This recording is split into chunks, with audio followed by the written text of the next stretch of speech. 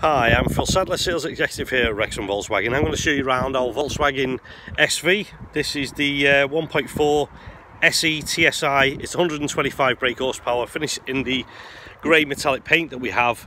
Now this car was bought brand new from ourselves and they repurchased again with myself. Uh, local owner, it's a June 2017 registered. It's got front and rear sensors, it's got the nice attractive alloy wheels which are all mark free. I say the customer's really looked after the car.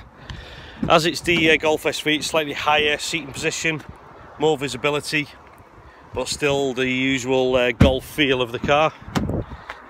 Loads of space in the back. I say it's been really, really well looked after.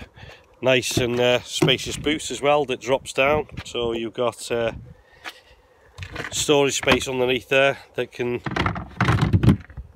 drop down like so. As we look at the interior, it's got uh, 19,722 miles on the clock. It's got the optional Garmin sat nav, so it was a retrofitted sat nav that was added to the car by the customer. It's got air conditioning, six-speed manual gearbox, adaptive cruise, Bluetooth, and automatic headlights. So all our cars are sanitised inside and out as your safety is our number one priority. So for more details on this car, please make sure when you inquire you ask for myself, that's Phil Sadler, or my colleague Yusuf. We're the Insect Specialist team that can help you further. Many thanks.